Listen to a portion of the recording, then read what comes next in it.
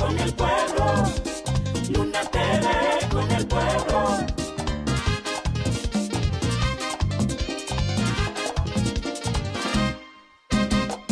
Entrevista y comentarios, farándula, concursos y espectáculos y mucho más.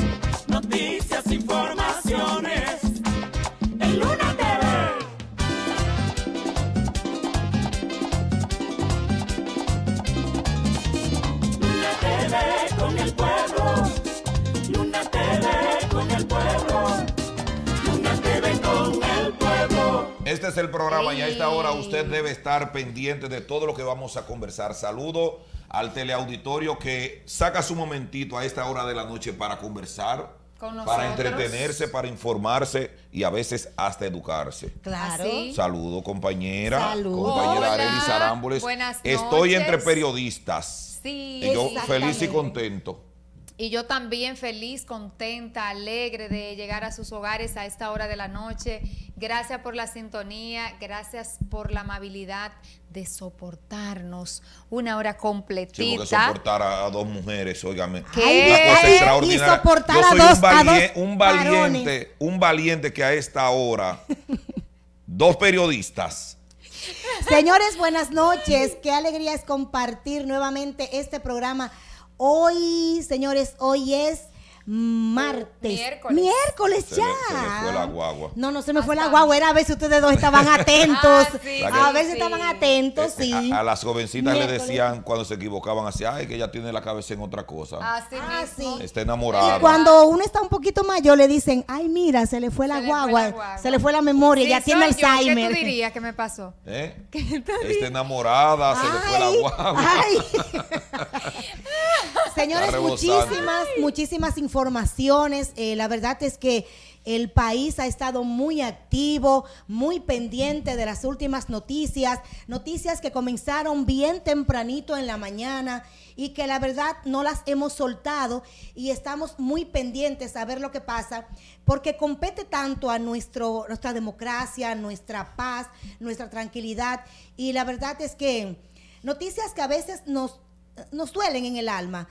Pero es lamentable porque es mundo y en el mundo hay de todo. A mí, a no me duele, a mí no me duele tanto. ¿A ti no porque- te duele tanto? No, no me duele tanto porque eso es producto de, de tu actuación. Como tú te manejes en la vida, como tú actúes, asimismo el karma te devuelve. Te devuelve. La justicia divina para los cristianos les devuelve eso que está pasando con mucha gente que se ha involucrado con narcotraficantes, con lavadores. Lavador de con- lavados de activos. Con gente que está en, el- en los bajos mundos, haciendo diabluras. Entonces, cuando viene ese karma, ese boomerang de allá para acá y le choca, yo digo, bueno, usted disfrutó de las mieles del poder, usted se la gozó, usted vivió durante mucho tiempo en una torre de lujo, usted manejó un vehículo de alta gama, de- de usted, de manejó muchos billetes para comprar buenas carteras. Entonces, usted debe Viajes, afrontar yates. como un hombre y como una mujer No, lo que le está sucediendo. Y decir, David, que cuando tú estás haciendo algo que no es correcto, eh, lamentablemente, pero en algún momento, en algún momento, no solamente el karma, es que en algún momento... El brazo de la justicia te alcanza. Exactamente. Sí. Entonces, usted no es una persona libre porque está haciendo algo incorrecto. Está eh, atentando contra la sociedad, contra la paz, la tranquilidad. Y lo que puede pasar en ese caso es lo que le pasa a la mayoría de los que están metidos en esos negocios. Muchos se pasan la vida entera en, en esa, con esa adrenalina de esos negocios eh, del narcotráfico, del lavado, y al final terminan Cuando les toca, les Exactamente. toca. La En la cárcel, sin inmediatamente. nada. Exactamente. Porque cuando, óyeme, cuando te toca, aunque te quites, y cuando no te toca, aunque, Aunque te, te pongas, pongas. la vida es así. Estamos hablando con relación estamos- a, a los 80 allanamientos que todavía la tarde de hoy está ejecutando el Ministerio Público en la provincia de la Altagracia, específicamente en el municipio cabecera, Higüey. Hoy, tocó- al caer la tarde, estuvimos viendo algunos videos, algunas imágenes de cómo las autoridades del Ministerio Público, auxiliados por la Policía Nacional, Y la están haciendo allanamientos en agencias de vehículos en estaciones de expendio de combustible, Sí. en, en otros negocios de alta gama. Bueno, Cinco. específicamente, Ah, exactamente sí. cinco, cinco estaciones de de, de Mire, estas. En- imágenes Miches, son en. Santiago. Sí, eso fue en Santiago en la que mañana nos de hoy. tocó bien tempranito en la mañana. Esa es la Torre Mediterránea. Sí, ahí en, la Trinitaria. En la la Trinitaria, Trinitaria. cerca de la República de Argentina. No, lado- detrás del ayuntamiento, no, detrás. e- es más de, al lado No, de- no, está- del, del club de los de abogados. los abogados. Ah, claro, de la Casa de los de Abogados, Argentina, por ahí. exactamente. Porque esa En- es la República de Argentina, ya aquí. En, en Miches, en la mañana de hoy, cerraron las cinco estaciones de combustible que hay ahí en ese municipio. No, es incre- decir, increíble. que hay mucha gente ligada al Y narcotráfico. decir, David, que hay muchas personas que, que envidian a esa gente que exhibe tanta bonanza, tantos carros de lujo, Es- es que el dinero y eh, lujo tanta ropa eh, costosa, zapatos, relojes y viajes y yates, de todo. Entonces, el que ve de afuera dice, wow, fulano, y la gente como que se desvive por eso. Y al final, es no, mejor... Es que el narcotráfico da es para mejor- eso, deslumbra a- todo aquel que no se ha formado. Y hasta, y hasta los que se han formado, que es, es tanto dinero, hay tanta abundancia de recursos pa- para darlo, tirarlo a borbotones, que la gente se deslumbra. No, y lo por- convencen, entre al negocio, que este negocio deja. Aquí hay por- dinero a Por- raudales. Por eso es, David, que tenemos que criar nuestros hijos, nuestras familias en valores. Decía Arelis, relajando conmigo. Bueno, en esta época el narcotráfico ha torcido muchísima gente Muchísima de valores. gente.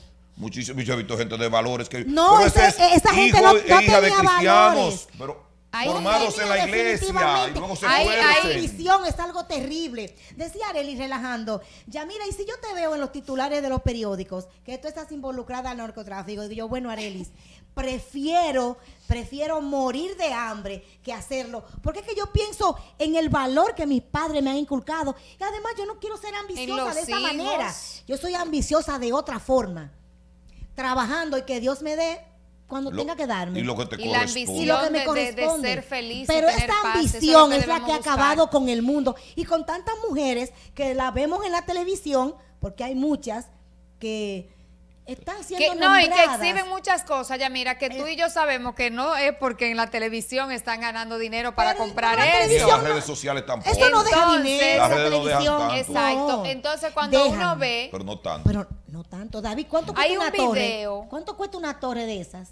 No, un apartamento en esas Ah, torres. sí, un de un solo apartamento, por ejemplo, una torre Por de, de piso. 10, un solo piso. Un solo piso, ¿cuánto cuesta? 450 mil dólares. Calcúlalo en Como pesos poquito. dominicanos. O sea, 40 millones. 350 mil, 300 mil 400 dólares. mil, 500 mil, así es es. una Porque es en locura. do- tú llamas y tú dices, es en dólares. Tú llamas para alquilar una casa. En el- señora, lo que hemos llegado, David, ese otro llegado. asunto. La dolarización de la Tú economía. llamas, ay, eh, yo, en el mundo yo- inmobiliario es Pero, así yo vi un apartamento de alquiler, ¿cuánto cuesta? Ay, ese está en mil dólares. Hermano, yo vivo en Soy República dominicana, Dominicana, cobro soy en dominicana. pesos. Yo te estoy llamando de aquí, de Santiago. Ah, no, Ay, lo pero que ellas, Ay, ellas ay. están inocentes. Señores. Ellas no saben en el país que viven. Este es un país que todo está dolarizado. Pero cuando tú vas a un comercio y vas a pagar en dólares, entonces ni te devuelven en No, no, te dólares lo- te lo y te dicen, al pero 50. yo te lo voy a, Entonces- pero, pero es a tanto. Yo te lo cambio a entonces, 50 y está Entonces 56. es una falta, eh, eso es un tema de proconsumidor que le toca, le no, corresponde. no, no, de la banca, no por consumidor. Ah, no es consumidor, la es la banca, banca la superintendencia, Ah, la superintendencia El de Banco banca. Central que claro. Entonces, ¿cómo es posible que tú vas a pagar, ah, no, te lo vamos a recibir a tanto? Pero no debe de ser, ¿por qué me Bueno, lo tiene que sí, recibir menos? Usted me está des- desvirtuando ahora el comentario, me- me- se me está yendo por la tangente. Vamos a seguir con el comentario comentario. fundamental, que son lo- los allanamientos que Sí, siguen pero en la tarde también de hoy. yo quiero decirte que hay un video ahí eh, donde la magistrada Jenny Berenice habla sobre los allanamientos realizados en el día de hoy. Entonces, Es bueno eh, vamos a ver lo que dice Jenny Sí. Berenice sobre... Porque Santiago es el listo, centro de- producción. de, Sí. esto.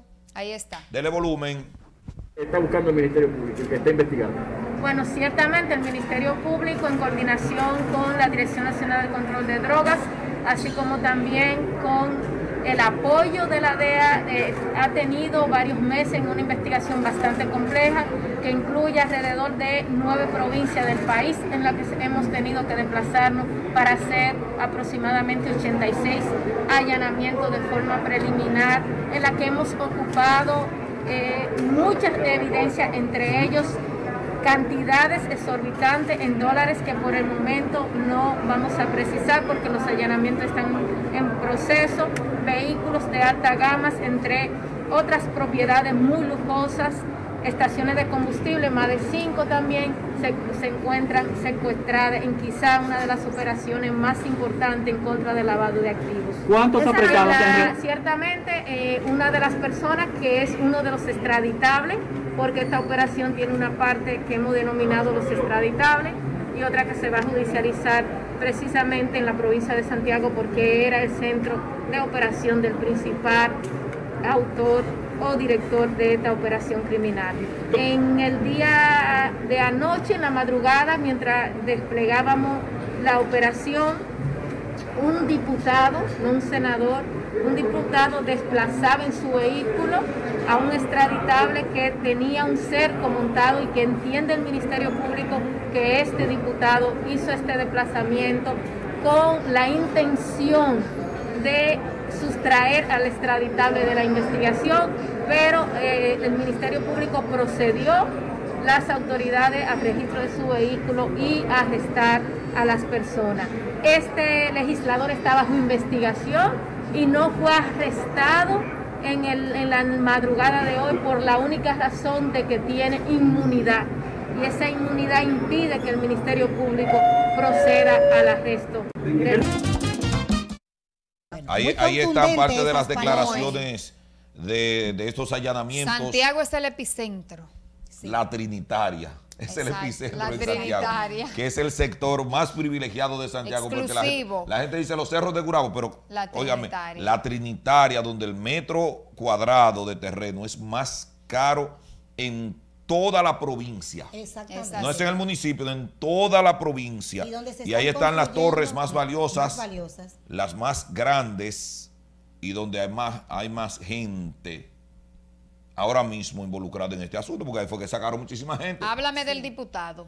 El diputado de Pedernales, Félix, Pe- Ay, Feliz ay, Feliz, ay, ay, ay. Exacto. que vino a Santiago a llevarse A su amiguito. a uno de sus amigos que supuesta y alegadamente está involucrado y que es uno de los extraditables. Exactamente. Porque lo, lo delimitó la, la señora Jenny Berenice, la magistrada Jenny Claro. Berenice, que hay un grupo de extraditables y un grupo que tendrá que enfrentar la justicia aquí en República Aquí en República Dominicana. Dominicana, que correcto. por eso Y se involucró la DEA Y luego, FBI, luego de más de ocho meses de investigación, dándole seguimiento de forma milimétrica a las operaciones comerciales y de narcotráfico, lavado de activos que estaba haciendo esta red.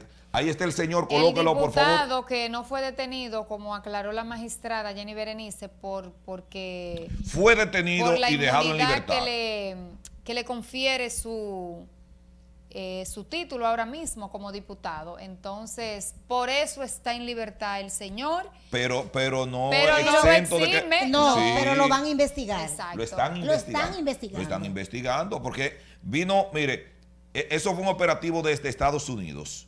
La DEA, el Ministerio Público, la DNCD, El FBI. el FBI. Es, es- es algo Óyeme, grande. eso es algo grande. 80 allanamientos. Alguien está en Estados Unidos y está cantando. Ah, pero Miguel Ay. Gutiérrez dicen. eh, lo- oiga, Exactamente. es un rumor que casi es una realidad. Pero es el rumor que ha corrido en el día de hoy. En el día de hoy, Que Miguel. Gutiérrez está, Está cantando, cantando. Exactamente. más que los niños cantores de Viena. El hombre tiene un Oh. concierto que ni en sus, en sus mejores épocas. José José o Camilo VI. Para que es, sepa. óigame, desde que lo aga- agarraron hasta hoy, que le están diciendo, pero cállate un rato, descansa. y él sigue cantando, él sigue cantando. El caso es que él parece pero- que quiere que su pena si- sea reducida. Pero si, si lleva esta investigación ya más de ocho meses, Miguel Gutiérrez fue detenido en mayo 18, Sí, 19, pero por ahí. recuerda, recuerda que a él se le estaba dando un seguimiento. Lo atrapan, Exacto, y se lo, sigue. lo atrapan, porque no fue de que no, que él fue y cogió- No, no, no, no, no. A él lo tenían encerronado. Encerronado ya. Te tenemos a cuarta. Y se reunió con dirigentes del PRM en la capital, la Su dirigencia del. PRM, su partido. Que le hizo las Y recomendaciones. le, le recomendaron, mire hermano mío, nosotros tenemos los datos, no queremos el escándalo, el escarnio público de su familia y todo eso, sino que venga, tome un vuelo y vaya, esa es la recomendación del partido. de manera institucional. El hombre cogió un vuelo, se fue de que entregarse a Miami. ¿Y cómo tú sales a entregarte allá? Antes de que te salieran a buscar, porque te iban a salir a buscar. Claro. Luego fue su hermano y tres de sus socios en estos negocios turbios del narcotráfico y llegaron a Estados Unidos, inmediatamente le echaron el guante y están cantando. En el día de hoy salió una información de que posiblemente su juicio ya fue pospuesto. Para el Eh, es de manera 22, concreta. para el 2022. El 2022 Sí. por la acumulación de juicios producto de, de la pandemia, que todo se retrasó y él va a caer en el Exactamente. 2022, es decir, un año y pico más Sí. detenido ahí tranquilamente a esperar que lo escuchen, a ver cómo se declara y, Y se va a juicio de fondo dependiendo su curul cómo queda tranquilo ahí. está desierta, pero el hombre está cobrando. Des- Eso es El lo hombre está extraño. cobrando, no lo han porque está desierta todavía. su curul y Bueno. entonces. Ay, señores, pero. Decir No, eh, que... eh, eso, eso, Eso es un vacío eso es un vacío. jurídico en este país. Claro. Porque si él cometió un delito, a, a pesar de que él no ha sido condenado, No, aún, no, no ha sido solo está condenado. siendo señalado. Y dice en la Constitución de la República que usted Que es La inocente, presunción hasta de que- inocencia. hay que mantenerla. Claro. Luego de un juicio público oral- oral y contradictorio. Decir que el presidente de la República ya eh, Mediante decreto. suspendió, exacto, mediante un decreto al señor eh, de Comunidad Digna. Es un- es un director. Un Un director, director de Comunidad que también fue detenido en el día de hoy en este en estos allanamientos y decir que bueno ya el presidente se expresó rápidamente Tenemos video, publicando tenemos video del tenemos presidente. eh, también tenemos Sí. video del presidente Al- de la al- República Al máster que lo coloque, por favor, y por ahí nos que vamos a no la pausa. Yo le prometí a este país que iba a haber un ministerio público que iba a actuar, caiga quien caiga. Y eso es lo que se está ejerciendo en este país. En este país ya no hay vaca sagrada. En este país todo el que la hace la paga. Ya se encargará la justicia de determinar. Y yo espero también que la DNCD, el Ministerio Público, la Procuraduría, pues dé los detalles integralmente de toda esta operación.